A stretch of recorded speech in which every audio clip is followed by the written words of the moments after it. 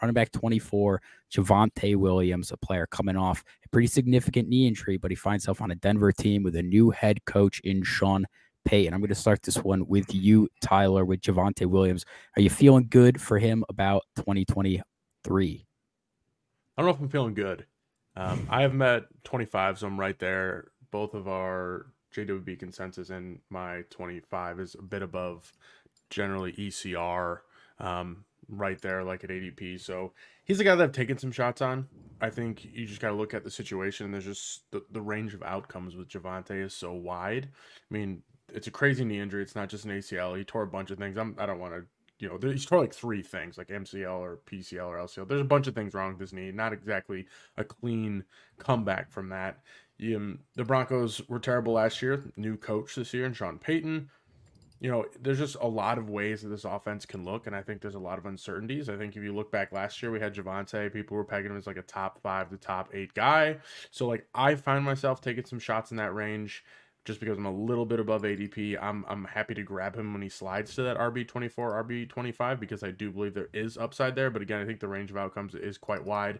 I feel good because there's not a lot behind him at this point in time. Like I know Samaje Perine is a pretty serviceable pass catching back, but I don't think by any means that he is like a guy that is going to handle a serious workload. So without them signing anybody, there's no rumors about them bringing anybody in. It doesn't seem like they're going to bring anybody in. So I think they're at least a little bit bullish on his timeline and playing most of the season. So basically, like I, am right on line with, with where we have Javonte Williams. I think he's, he's definitely worth some shots, especially if you're looking for some upside late. Like he's kind of like an end of a tier. Like right after Javonte goes, there's not a ton of upside left, in my opinion. So I do find myself interested in him. But at the same time, I just think the range of outcomes in which he can finish is is pretty wide, considering this, you know, how serious the knee injury was and the new coach. We don't know what the offense is going to look like. So. You know, that's about what I have to say on that. Where I just I find myself like mildly interested. I'll take him if he dips. Yeah, Tim. Um, he's the running back 28 coming off the board. This is player 73. Are you in step with Tyler here that is kind of the last of that group, or how have you been approaching him in drafts this year, and are you in or not?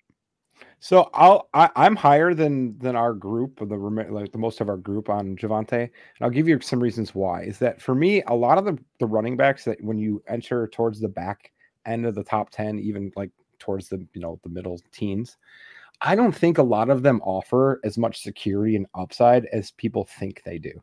And for me, we have a couple uh, benefits to the, the injury for Javonte being so early in the in the offseason or in the season where he had more than just the offseason to recover, as well as when he was playing.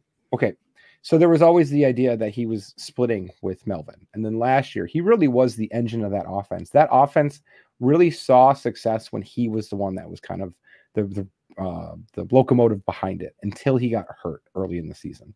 So I think that we're going to see a lot more of that coming back, as well as I really like Sean Payton being the the head coach because I've already liked the way that Javonte Williams handles the ball in the passing game, and if we have any sort of um, Sean Payton of old when it comes to passing the running back, I think he's going to be a pretty heavy producer in that area.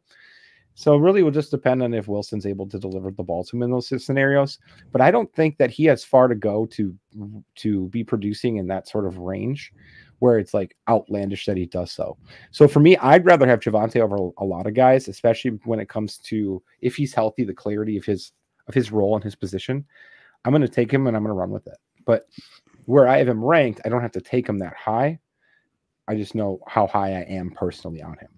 Yeah, certainly. I mean, I've been telling people off season, you know, we, we have a very healthy sample size here with Sean Payton. And since 2011, every single offense he's had with these running backs, they've seen over 20% of the team's overall targets, which is a few percentage points, two to three over league average, which basically tells me this room, if it's Sean Payton, it's going to see 100 targets. Where's it going to go? And if you're out on Javonte Williams, you really should be taking that late stab, pass a pick 100 on a Samaje Perine, a guy who could just simply, of course, maybe not the ceiling, but fill that flex spot or that RB2 spot really nice.